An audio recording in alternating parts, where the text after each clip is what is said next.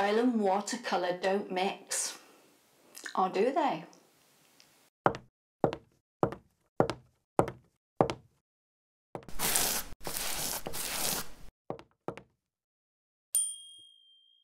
Well, oil and watercolour don't mix, so please don't go rushing out there and mixing both paints together or you will end up with a muddy mess. But did you know that watercolour can serve as a fantastic underpainting to oils? Hi, I'm Marion Dutton. I'm an artist and a teacher and I love to paint in oils, watercolour and acrylic, a real mixed bag of goodies. So if that's something that sounds interesting to you and you like a little variety, then do consider subscribing to the channel. Perhaps you love oils as much as I do, but you've found that backgrounds can be a real sticking point for you.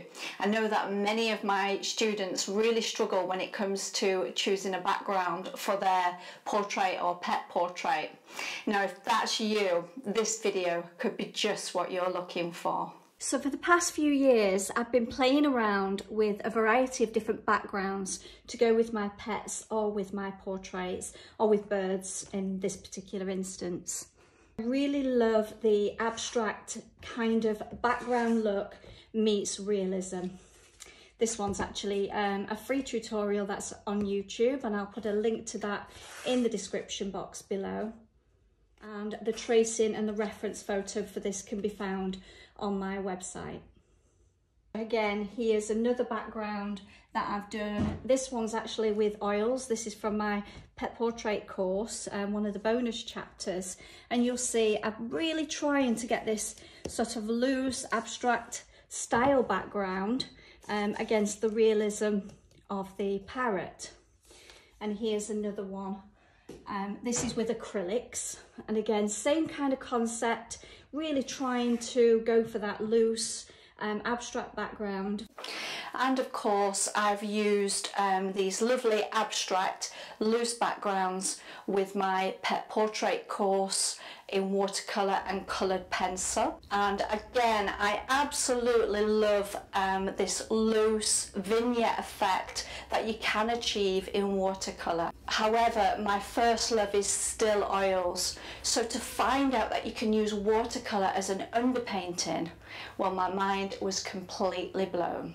So I first discovered you could use watercolour as an underpainting to oils when I stumbled upon a video by Bill Inman and I will attach a link to that video in the description box below. It is really very informative and well worth watching. But to summarise Bill's video, it is widely known that you can use acrylic underneath oils as an underpainting or as some initial washes.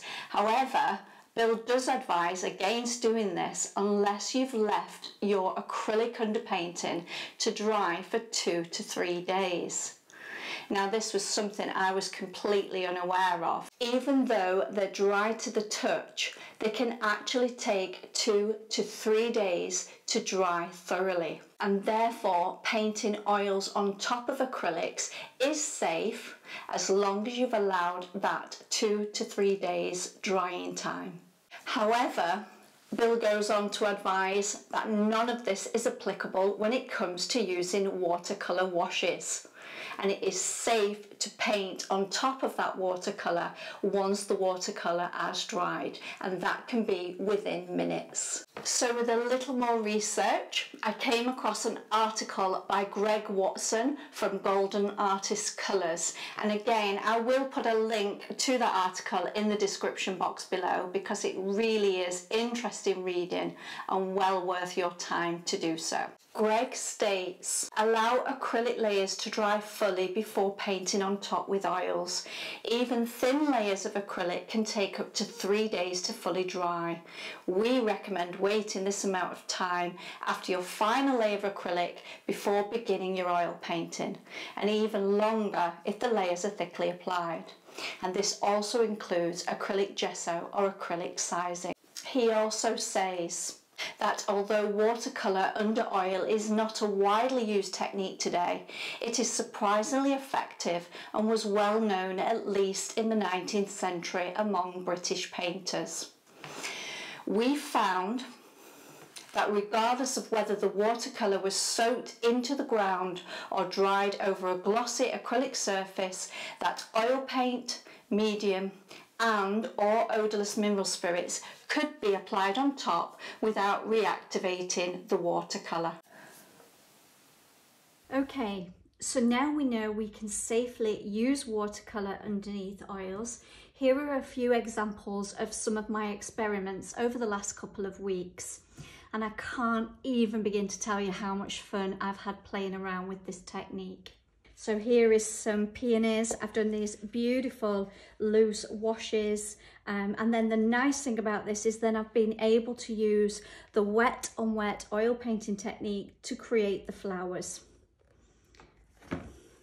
This one is a pet portrait. Again, lovely loose washes, really lovely vignette effect, a little bit of splattering, and then switching to oils. I've underpainted this as I normally would with my portraits and pet portraits, and then gone on to create all the details. And here's a couple of other um, lovely loose washes, and then those on top some tulips, letting the paint run and dribble and just absolutely enjoying playing around with this technique. And then again here, this is on aquaboard and um, I've done my portrait as I normally would using the underpainting technique. And um, but of course, first of all, I did the watercolor background before switching to the oils to complete the portrait and this is one that I did yesterday and again you'll be able to see this one's ready for the colour layers so I did the initial washes on the background let that dry and then I went in with burnt umber oil paint um, using my erasing technique which I have demonstrated on this channel. Um, and I've gone ahead and done the portrait the underpainting for the portrait. Um, once this is dry, which actually is, it's usually dry overnight, um, I'll switch um, to put in the colour layers on top of this. I'm absolutely loving um, these sort of loose, transparent washes against the realism of the portraits or the flowers or whatever the subject happens to be. And yes, you can safely varnish the oil painting and go straight over the watercolour once your oil painting is dry to the touch but you must use a retouching varnish or one that is flexible and designed to be used over oil painting that's not fully cured. The one I'm using is Zest-it Daymar Retouching Varnish and Jackie from Zest-it kindly gave me the advice about using this on top of watercolour and oil and yes it's absolutely safe to do so. Once your painting is dry from the varnish you can frame this without um, worrying about putting it in front of glass. I will typically add two, maybe three layers of the Daymar retouching varnish, allowing it to dry between those layers. This particular painting has been dried for about a month now.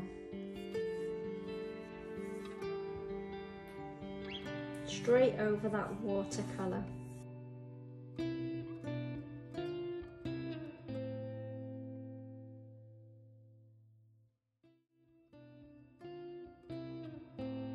So I really do hope you've enjoyed this video and it's give you or introduced you to a few exciting new techniques and I really do hope you have as much fun playing around with this idea as, as I have. Did you know about oil over watercolour? Is this something that you already knew or like me it's completely unknown to you and it has really blown your mind on how you can actually use this technique in some of your own projects?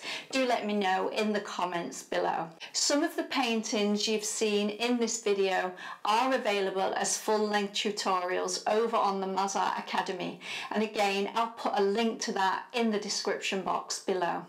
Thanks for watching and I'll see you again in the next video.